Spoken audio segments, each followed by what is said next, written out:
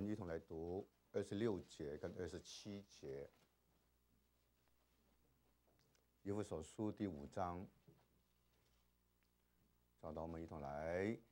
要用水借着道把教会洗净，成为圣洁，可以献给自己，做个荣耀的教会，毫无玷污、皱纹等类的病。乃是圣洁、没有瑕疵的。我们一同低头仰望主，哈利。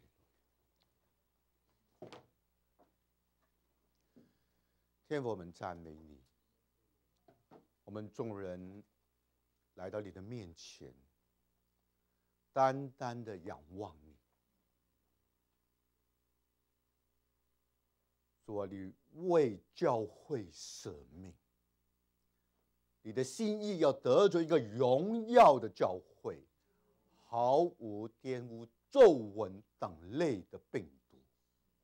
乃是借着你的真道来洁净。所以你把这样一个荣耀的教会心腹的意象放在我们心里面，好让我们能够像当年的这些清教徒，他们甚至舍命。为主受苦作践，被逼迫，就是为了要建造看见你自己荣耀的教会，没有任何的玷污，说使用我们，医生把这样一个荣耀的意象放在我们心里面，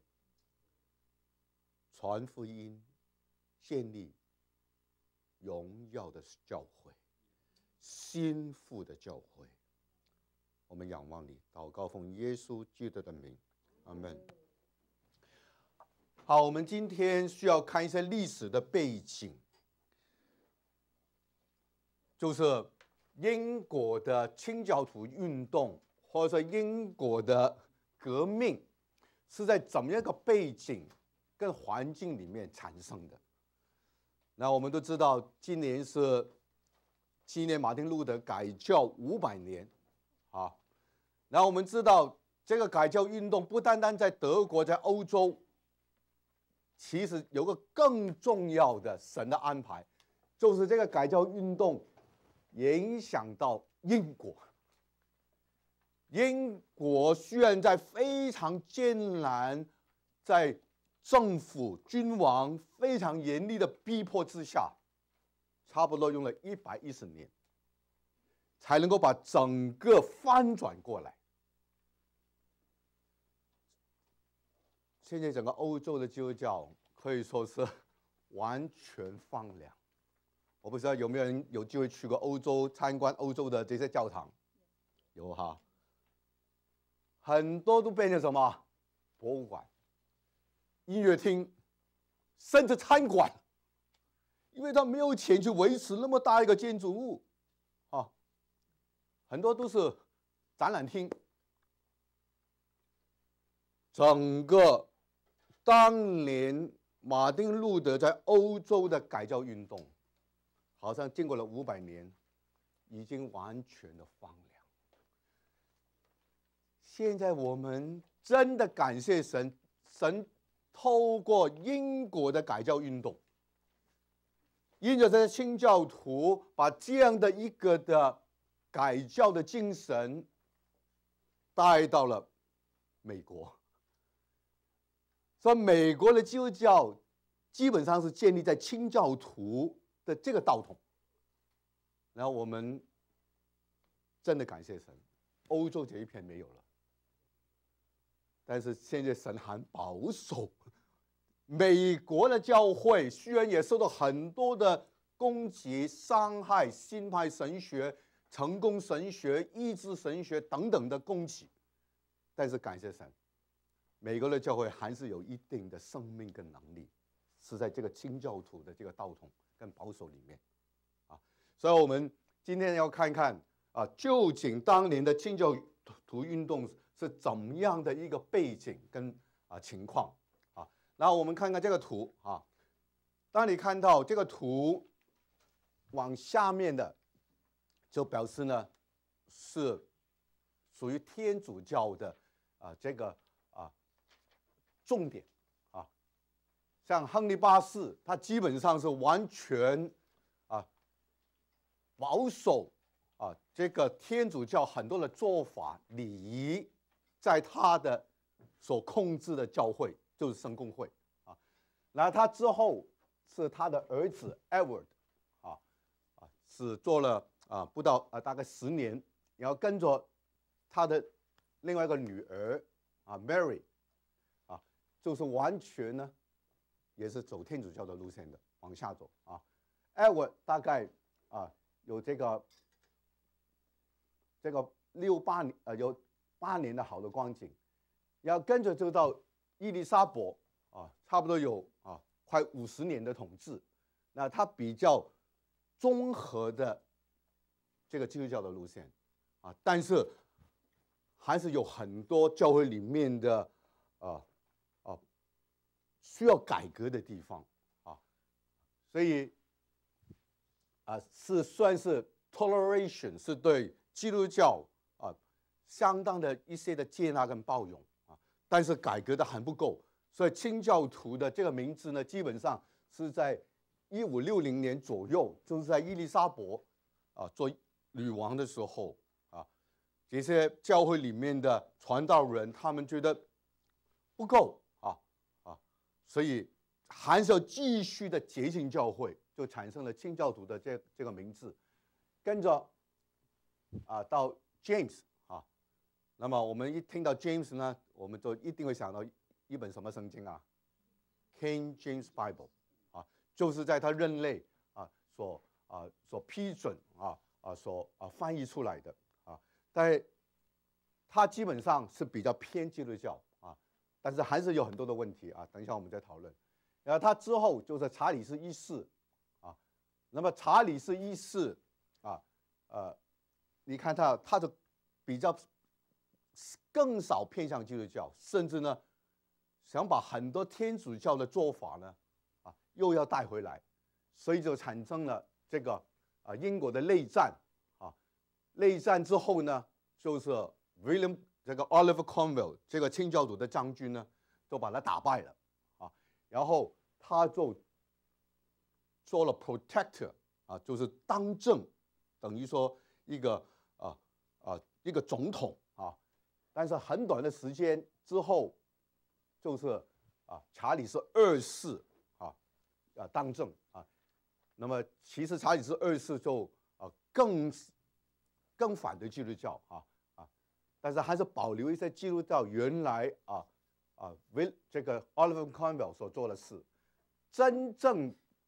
完全的开放呢，是到了一六八八年，我们叫做荣耀的革命啊，Glorious Revolution 啊，那么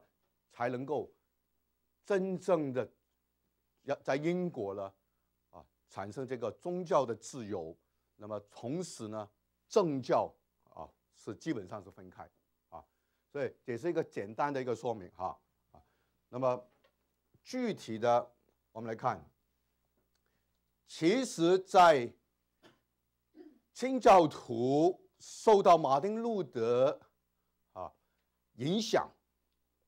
要改教，更早之前啊，我们可以看我们的讲义，就是这个啊约翰 Wycliffe 和 John Wycliffe。他是十四世纪的人，所以比马丁路德还要早了一百多年，啊，那么这位英国人不得了，啊，他在十四世纪的时候，已经看到当时天主教的败坏跟错误，啊，这个泡泡我可以 email 给你们没有问题哈，我会告诉秘书，已经提出啊，教王。不应该是绝对的权威，唯有圣经才是最高的权威，Only the Bible，啊，甚至他已经提出反对天主教对这个望弥撒这个饼的变质说，他觉得这个是迷信，啊啊啊啊，不应该有这样一个变质说的一个啊说法。好，我们以后看再研究一下这个椅子怎么怎么怎么弄哈啊好！这个挡住哈，OK。啊，我们这边有很多空位哈，我们可以尽量坐过来哈。所以这位 John Radcliffe 就发现圣经很重要。当时整个的天主教中世纪，他们只读一本圣经，读什么圣经啊？拉丁文圣经啊，Vulgate 啊，五加大译本，根本平信徒甚至连很多的神父都看不懂。渔民政策，啊，所以 John Wycliffe 就努力的要翻译圣经，也就是他当年所翻的这个圣经，啊，新旧约圣经，啊，那他所翻的时候，你注注意啊，是中世纪的英文啊，Middle English，你读这个东西，你根本读不懂它是什么，这个是创世纪第一章第一节。不晓得是写希腊文还是写什么，看不懂的，啊，这个是约翰福音三章十六节，啊，但最少那个时代，英国人看得懂，啊，把拉丁文的圣经直接翻译成英文，啊，然后拉丁文圣经里面一些比较误差的地方，啊，翻译的不太准确的地方，他也把它调整。而这本圣经在当时呢，在英国其实是秘密，在甚至在欧洲秘密的在啊在在抄写的，到现在呢，他们呢还保留了在全世界找到两百五十个抄本哦。你知道你找到一个抄本呢，你知道卖多少钱呢？都在去年找到一个抄本呢，卖多少钱呢？美金一百六十九万，你就发财了。你就知道这个抄本是多多宝贵，也知道在当时其实是蛮流行的。你看，隔了那么多年，快才七百多年了，八百年了，在还保留，现在有两百五十个抄本，啊，所以这个 John Wycliffe 被称为 Morning Star of Reformation，是改教运动的一颗晨星。在马丁路德改教运动之前，快两百年出现了。其实他很多的讲论影响了马丁路德的，啊，因果开始，那么因着他对圣经啊的这个看重啊，是第一位啊把这个圣经翻译成英文的，啊，in English，虽然是古老英文。文言文英文，没有人听得懂、看得懂。我们现在，所以用他的名字建立了现在全世界最有名的什么威克里夫圣经翻译社 （Wycliffe Translation Bible Translation） 啊。那我一九八四年到 Westminster 读书的时候，就认识一个从香港来的年轻人啊，我还记得他名字叫 Alex。他的负担就是要读完神学呢。去参加这个 Wycliffe Translation，专门去翻译啊一些全世界很少数民族的圣经，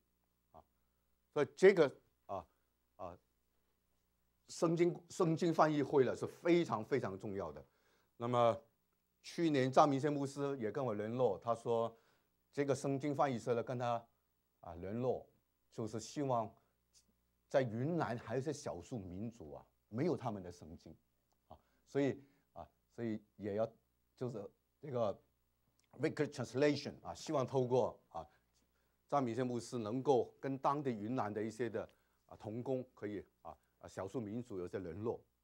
所以这个翻译啊声音翻译非常重要啊，到今天还是影响着全世界啊。那么第二位影响英国的改教运动就是这位 William Tyndale。啊，中文翻译的威廉丁道尔，他被誉为 Father of English Bible 啊啊，就是英文圣经之父，因为原来的 v i c k l i f 所翻译的是什么？只是把拉丁文的嘛翻译成英文。天主是真正进入希腊文，用当时 Erasmus 所编的希腊文原文圣经，啊，才出版了几年，然后参考希希伯来文的原稿，他是第一位从原文 重视原文，回到原文翻译第一本英文的圣经啊，当然。呃，新约圣经是他所完全翻译，旧约圣经他大概只完成了一半，啊，另外一半是他的同工叫 Miles Coverdale 帮助他完成的，啊啊，在他死之前啊而出版的啊，那么在这里提到了哈，一五三五年就印刷了整本的圣经，啊，那他是。一五三六年寻到的，那这本圣经呢，非常影响，有影响力，因为之后的英王钦定本 （King James Version） 里面的新约的部分呢，他们分析了大概有百分之九十的句子，都是完全跟天流的新约圣经一模一样的，也有人分析大概。可能到百分之八十三，但是你就看到那个比例啊，后面的圣经包括 Revised Standard Version 有百分之七十五的句子在新约圣经是从 Tyndale Bible 出来的啊，所以你就看到啊这本圣经的影响力。那么很可惜啊，他在一六三六年十月六号被他一位同工出卖啊，就在这个布鲁塞尔。的这个城市叫 Anward，就被天主教抓了，先把他勒死，然后再把他绑在这个火柱啊，示众啊来焚烧啊。但是他被勒死之前呢，他做了一个祷告被人记录下来啊。这个祷告就是主啊，开英王的眼睛啊啊。因为是英王跟天主教合作啊，派啊这个密使到这个布鲁塞尔啊，把他抓起来的啊啊。Open the King of England's eyes 啊，很奇妙，神真的垂听他的祷告，居然在两年之后呢，英王呢，亨利八世批准在每一个的教堂呢。可以放一本英文的圣经，叫《Greek Bible》。这本圣经很大啊，印刷的很大，要用这个铁铁链呢锁在讲台的啊，所以很珍贵的啊。那么只有传道人啊、圣职人员才能够读到这本圣经，很大本的啊。那这本《Great Bible》的内容呢，居然大部分都是《Tindal Bible》的内容啊。所以，啊，Tindo 虽然啊寻到了啊，但是，啊，因着他的啊牺牲，他的摆上啊，神的话语啊，就在英国开始啊传播。那我们要看这个关键的人物啊，就是 这个英王亨利八世啊，他在位三十八年，从十八岁就做王啊，那么。为什么他一五三六年要脱离天主教啊，让英国的教会不再受教王的统治？什么原因？其实，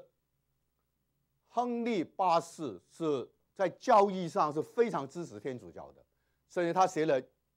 一本书。啊攻击马丁路德的改教的错误，啊，那为什么他要脱离天主教？第一个主要原因是什么？我们看看他的妻子，总共他一生有六个比较有名的妻子啊。那第一位写在最下面，Catherine Aragon 啊，他要把这位妻子休了。啊但是呢，教王不批准，啊，那当然有很多关系关系的，因为这位这位妻子呢，跟天主教啊有很亲密的这些啊这些姻亲的关系等等啊，一再的申请要离婚，离婚的原因其中一个就是他没有生儿子，将来没有人继位，没有王的话，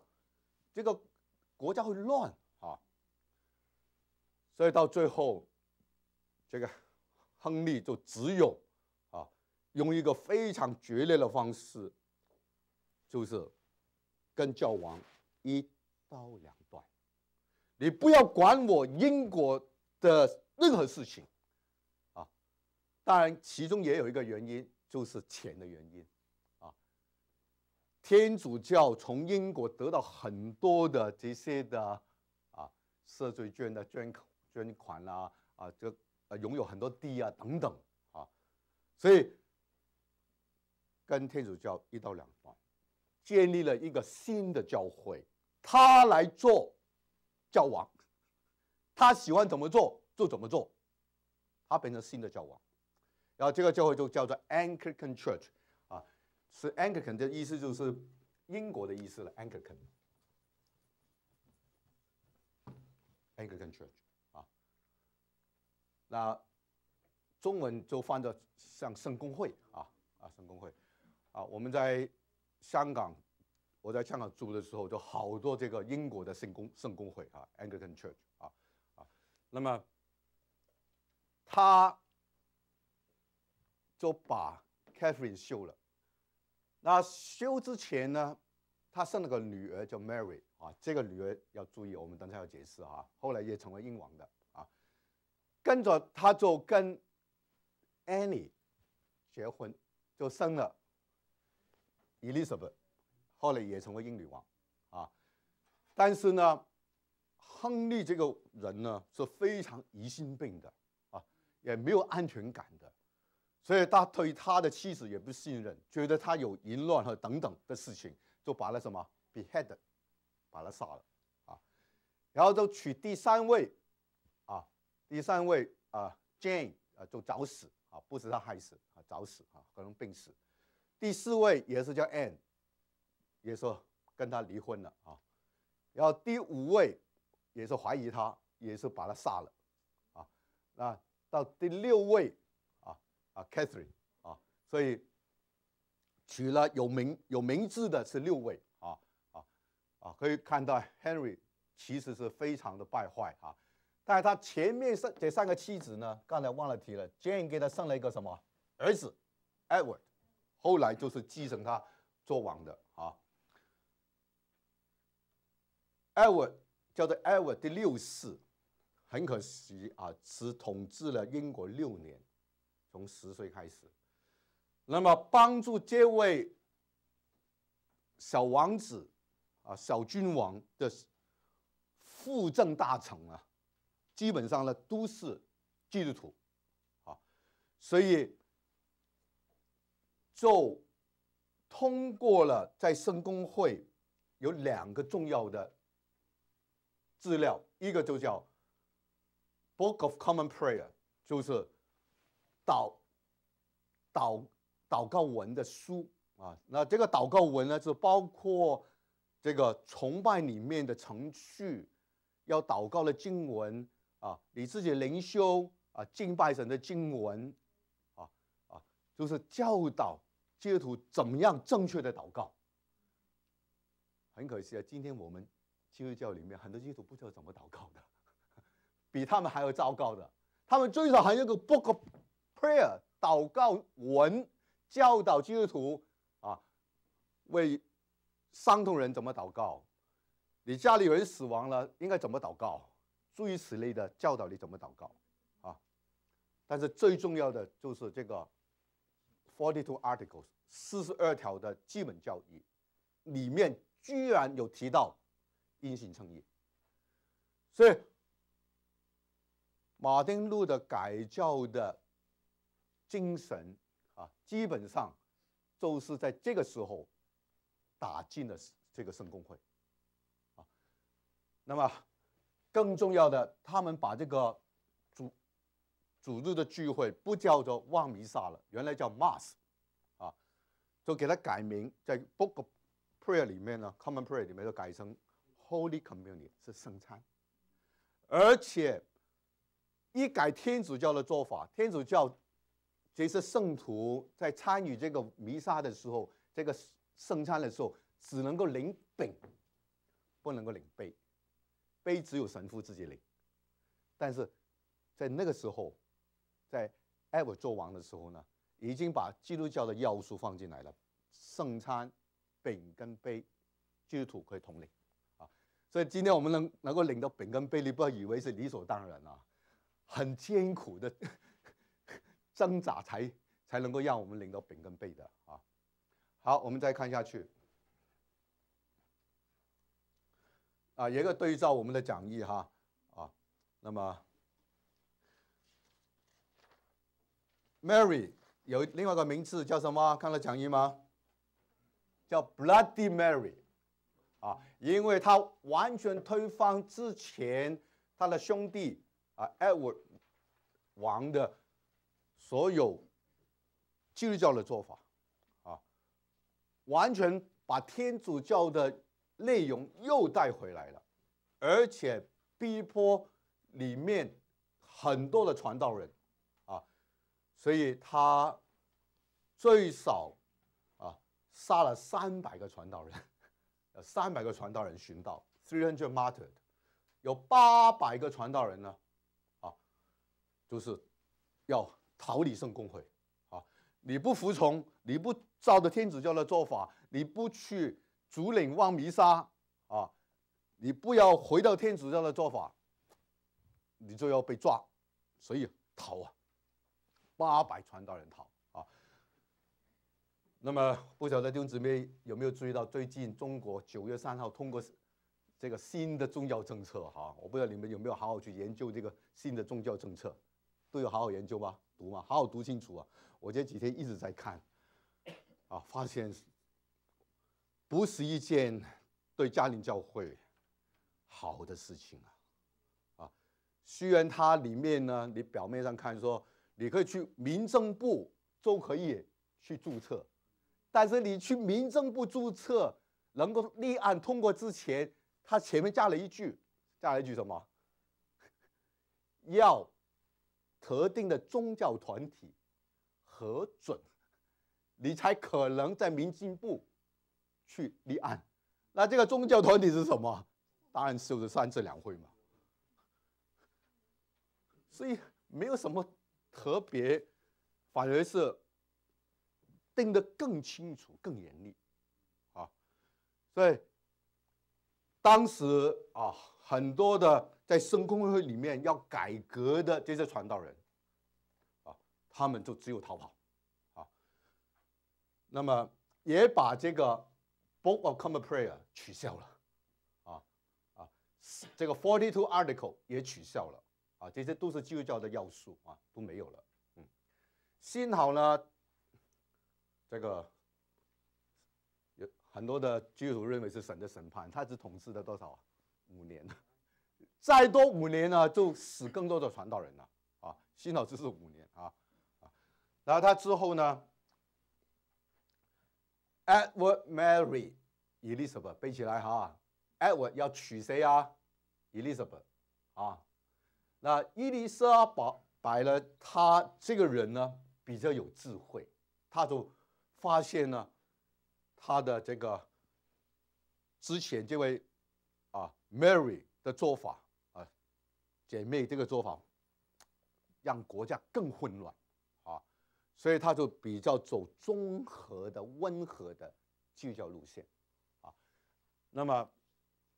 把这个 book 这个祷告书 Book of Common Prayer 恢复了在圣公会，然后呢？也把原来的四十二条恢复了，但是减少了三条，所以说三十九条啊，重点都都还在啊。但是呢，他还是保有很多天主教原来的一些的做法，比如说传道人要穿圣袍啊，然后在崇拜的时候要点那个什么圣香，啊，一个 incense。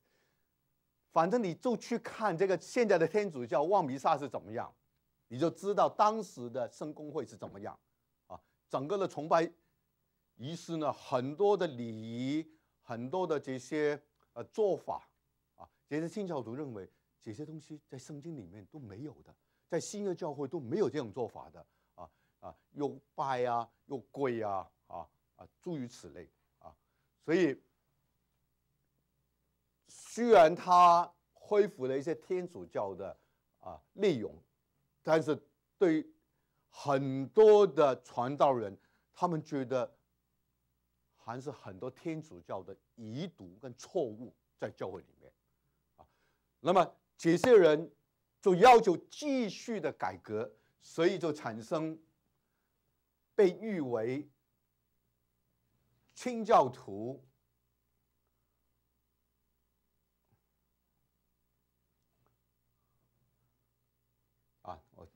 就是什么叫清教徒？One purifies the church，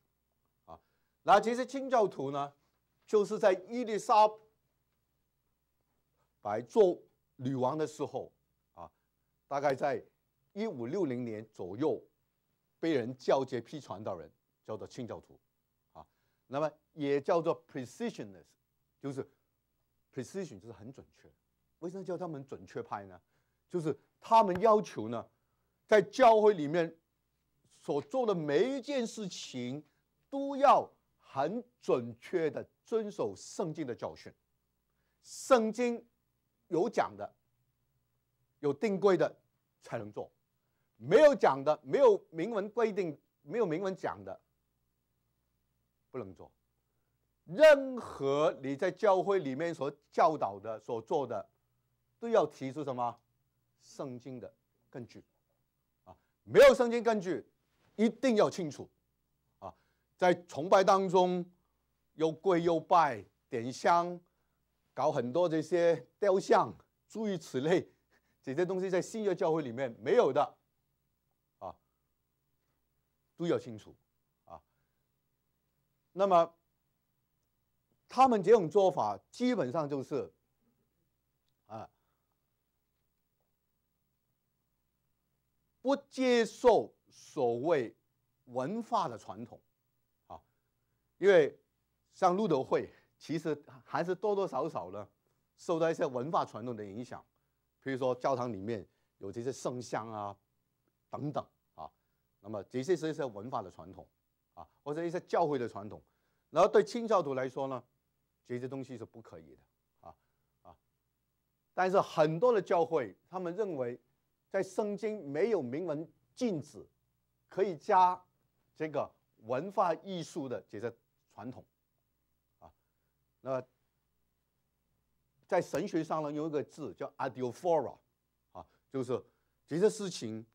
圣经没有禁止，没有明文禁止，所以是他们认为是无关重要的，是一个文化上的一种的啊做法。那么，我几年前回到台湾，看到一个教会啊，在台北，居然他把那个教堂呢的外观呢盖成像一个庙，好像用这种文化的认同，或者说叫 contextualization，中文翻作叫做文化的配合。啊他觉得，哎，台湾人喜欢去庙嘛，啊，这些宗教的这些聚会啊，就去庙嘛。他把教堂改成庙的样子，啊，那这种文化的做法对还是不对？啊，对很多教会呢，他们觉得这些事情呢叫无所谓，indifference, ideal for，啊，因为圣经没有讲说你的建筑物是要怎么样，教堂，啊啊，然后你为了吸引人进庙教堂，那你就盖成庙嘛。所以很多不同说法啊啊，好，所以解释啊清教徒的一个基本的态度啊。好，我们啊希望先把整个的大概讲一下。好，英女王伊丽莎白统治了快五十年，四十五年啊，那么是比较一个柔和的政策，但是两面不讨好啊，特别是对这些 Puritans 啊，要很严格的遵照圣经教训做的这些传道人呢，他们非常非常不满意的啊。啊，当然最重要的一个不满意的地方呢，就是伊丽莎白。跟之前的君王，他们呢最要抓的一件东西呢，他们不肯。抓什么呢？就是君管教，听懂这句话吗？君王，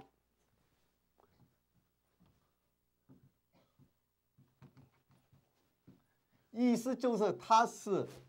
不但是君王，也是教王啊。他要管制这个教会，如同任何的一个的机构，是属于他国土里面的一部分啊。所以在当时呢，他坚持一个法案，叫做 Act of Supremacy，就是英王有最高的权柄在教会里面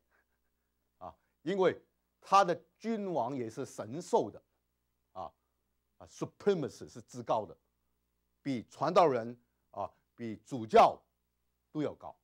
啊，整个教会要听命于他，所以基本上是一个 state church 的观念。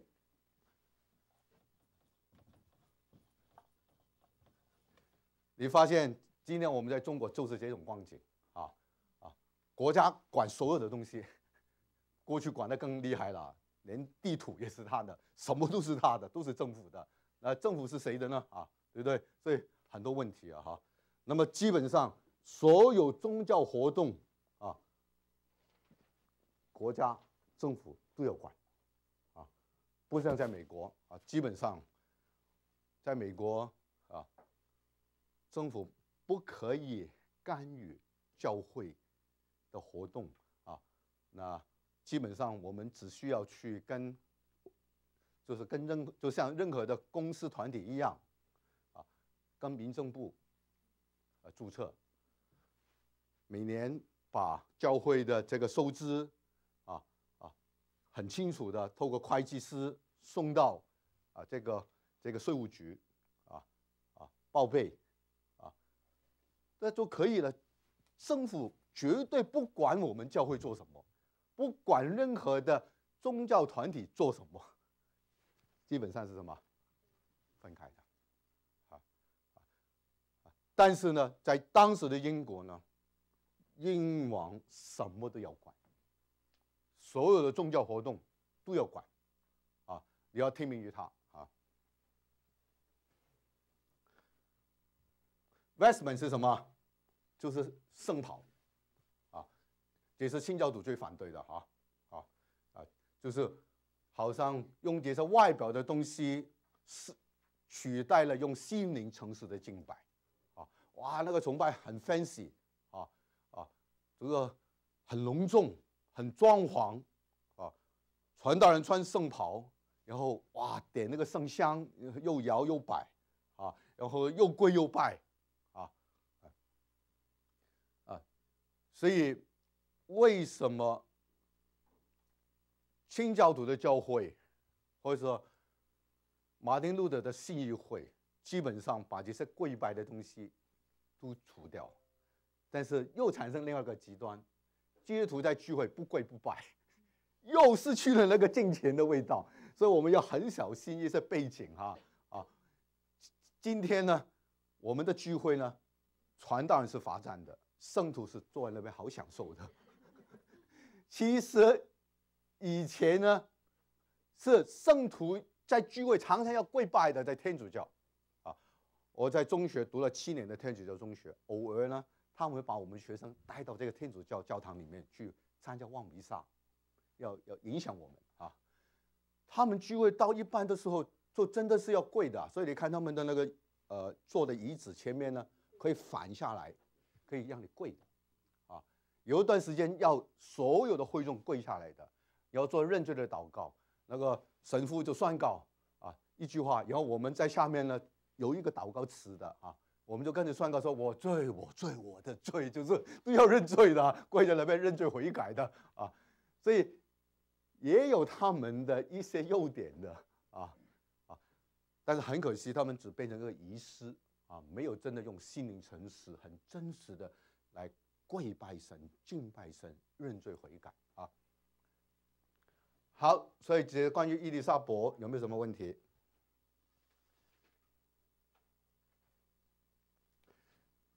下一位君王，那么当时许多的传道人、清教徒呢，对 James 产生厚望，希望这个年轻的啊男的君王呢，会有一番作为。啊的确，他让基督徒的传道人在 Hampton 开了一个大会，就在这个大会里面呢，通过准许重新翻译圣经，就是今天我们所用的1611年印刷出来的英王钦定本 King James Version，到今天全世界的英语教会都在用这本圣经，啊，都在参考这本圣经。啊里面有些的翻译的确很准确啊，非常好啊。那当然，刚才已经提到英王钦定本的新约部分，大概有八百百分之八十三到九十呢，基本上是 Tyndale Bible 的内容啊。但是呢，啊，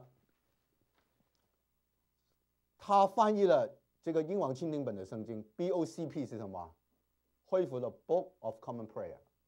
所以表示什么？要走基督教的。温和的路线的啊，恢复了啊。那么，但是他还是坚持一件什么事情啊？他是什么？他是教王，不但是君王，他还是教王，Head of the Church。所以当时的许多的清教徒没有办法留在这样的教会里面，就分离出来，叫 Separatists。看到这个英文吗？Separatists，做家庭聚会。啊啊就要真的按照圣经啊建立家教会，是完全没有这些的迷信跪拜啊等等啊，就是基督真的是教会的头啊，凡是遵主的旨意啊，不是君王的旨意啊。那么特别有一批的 separatists，这些分离者的清教徒呢，在一六零八年。在这位牧师叫 John Robertson 的带领之下呢，去了荷兰。但他们去到荷兰之后，待了一段时间，发现那个格局啊，荷兰的整个的发展呢，啊，是没有什么大发展，那个地方太小了。所以呢，就在一六二零年，就带着他的弟兄姊妹，坐了五月花 Mayflower 这条船。所以大家不要误会啊，不要以为清教徒是从英国直接到这个 Plymouth，不是，他们先到了荷兰的一段时间的啊。你看，差不多呃一六二零年，所以在那边待了十二年的啊，在荷兰，然后再从荷兰呢坐了这条船到了这个美国的啊啊东北部 Massachusetts 其中一个 town 叫 Plymouth。那么最重要的一件事情，或许我们有时间会去研究，就是他们在船上啊，当时的船长跟牧师啊，啊，传道人呢，带着船上面所有的人，男丁弟兄呢，在神面前祷告，立了一个约，叫 Mayflower Compact 五月花之约，啊，然后这个五月花之约主要的内容就是。他们要来到一个新的国家，美国这个新大陆，不是要寻求单单寻求物质的丰富，乃是为了有信仰的自由，能够按照圣经建立神荣耀的教会，而且要在这个新的地方努力的传福音，啊，这是他们的心智，啊，这是他们的美国梦。跟我们今天的美国梦不一样啊。来看看初代的清教徒，他们是为了信仰的缘故来到这个地方的，是为了可以活出一个真实的信仰，啊，不受到任何英王的逼迫跟干预，啊，跟今天的一般人的美国梦啊不一样，啊。好，我们继续看下去。那么。之后一位君王查理斯一世，他就开始反清教徒的运动啊，更厉害了哈。但是呢，在那个时候呢，清教徒呢，他们的生命见证、努力传福音，已经越来越多的英国人呢，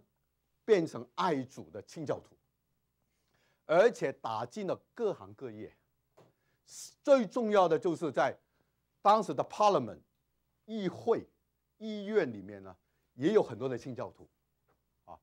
所以这些清教徒都起来了，就是对抗查理斯一世，啊，就开始了这个内战，啊，从一六四二年。到四六年打了四年的内战，是这些清教徒跟查理斯一世就是硬碰硬了。那当然硬碰硬也是有一个背景跟基础的，就是在军队里面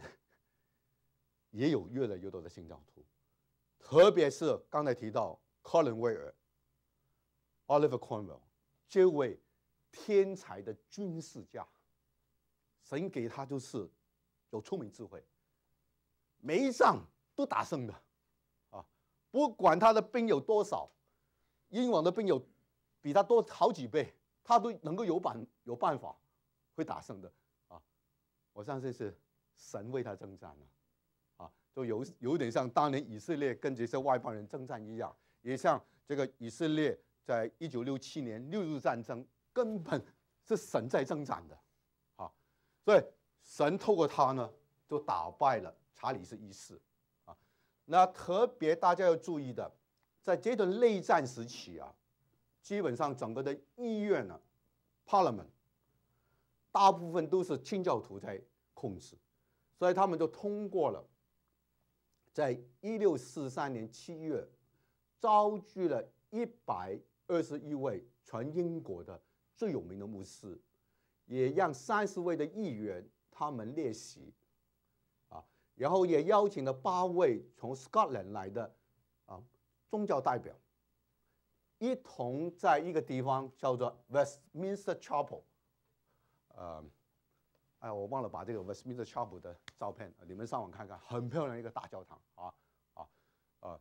所有英王的安利典礼都一定要在那个 Westminster Chapel 里面的啊啊，他们。王室的这些婚礼啊，一定会在里面的啊。Westminster Chapel，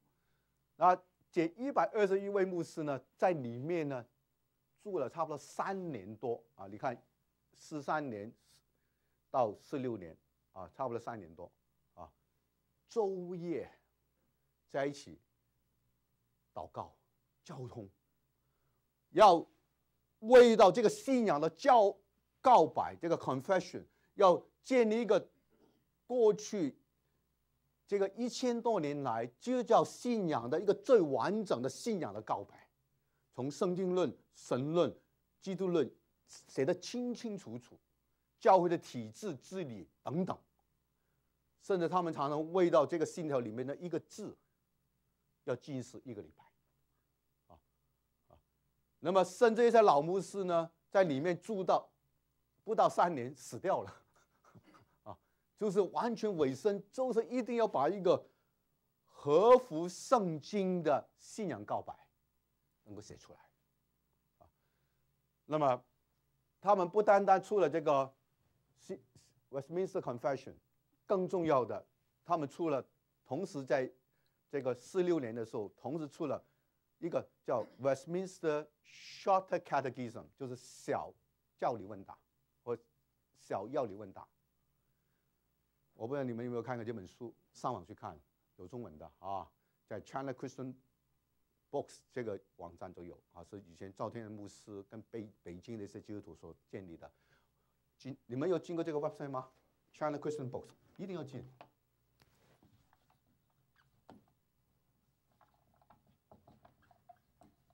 啊，你 Google 这个就有了，用手机。啊，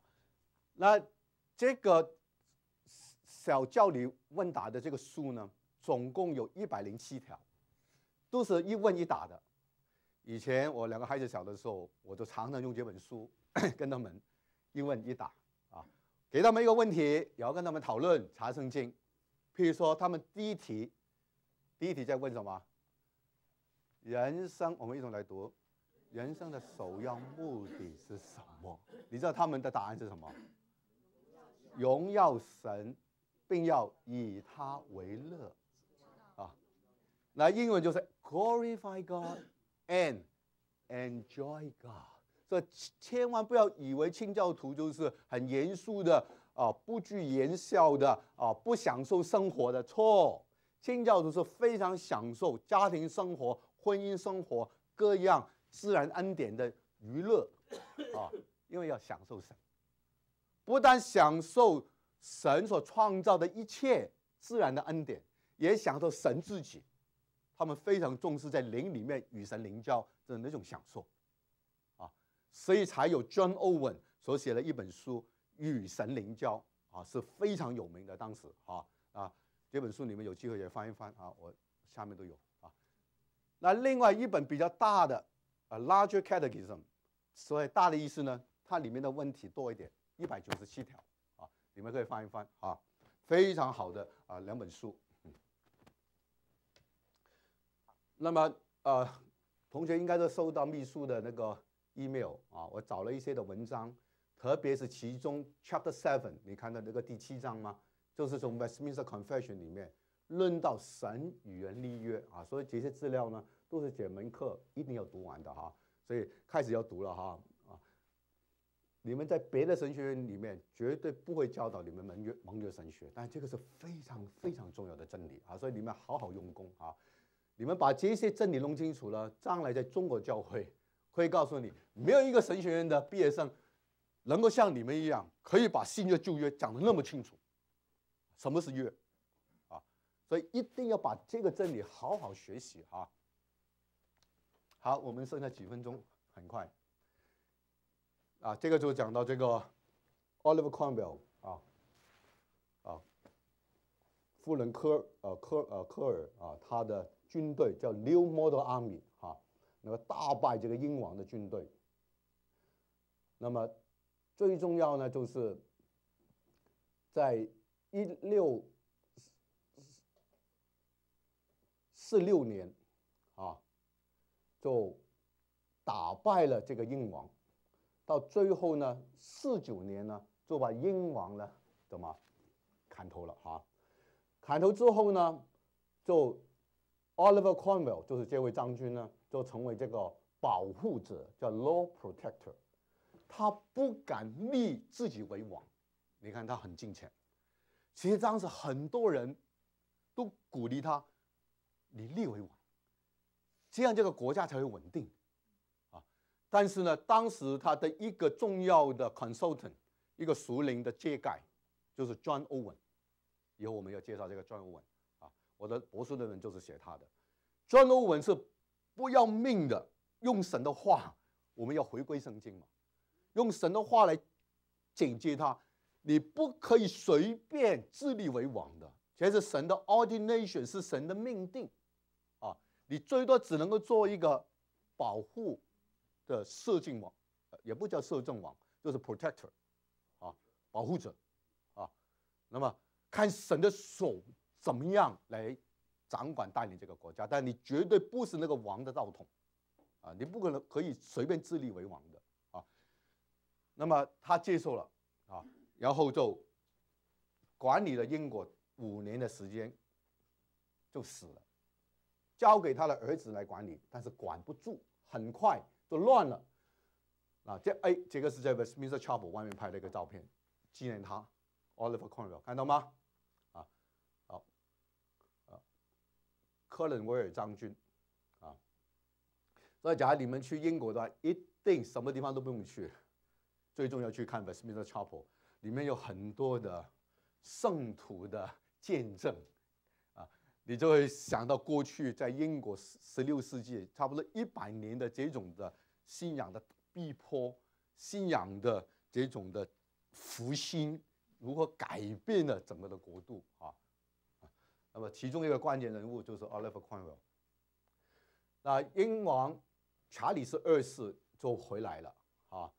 那么他是这个 King James 的呃呃，这个 King James 是查理斯的呃这个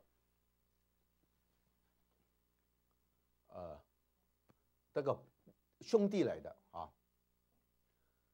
那么查理斯二世当然他就呃就是大力的就是逼迫基督徒了啊啊。所以，就又回到很多天主教的做法啊。那么之后，就接位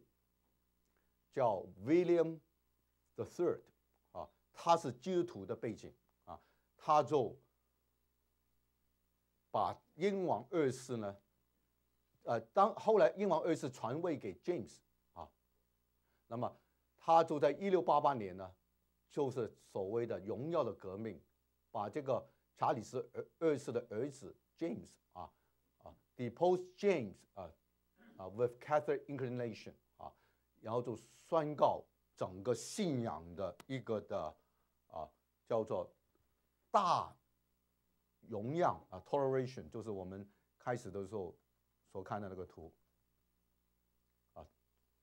一个真就是通过一个真正的 toleration act 啊。能够接纳所有的不同的教派啊，有新一呃有这个新议会，有这个呃 Congregational Church，有 Reform Church 啊，路德会各样的教会啊，都能够可以自由的按照你们的自己的呃圣经的领受来管理教会。那么在不再是君王治理教会啊，真正是带下一个政教啊分开的一个局面啊，直到今天的啊。好，所以我们很快的把啊这个清教徒的这个这个努力啊，你发现从一五三六年哦，注意这个图啊，一五三六年，亨利八世正式与天主教分开，啊，开始有一点点好像从制度上的改革，然后到内容慢慢的真的改革成功，你看到。一五四六年，差用了一百一十年，啊，但是当时的清教徒是走上一个正确的圣经的道路，啊，他们生命的见证，做光做盐，透过文化使命进到每一个文化层面，居上不居下，做首不做尾，把整个国家翻转过来，所以当中我们有很多可以学习的啊，所以我们希望透过这门课，特别。从他们非常严格的守神的约，守十条诫命，如何有生活的见证，啊，呃，影响了整个的社会啊。好，我们一同做个啊祷告，哈利路亚。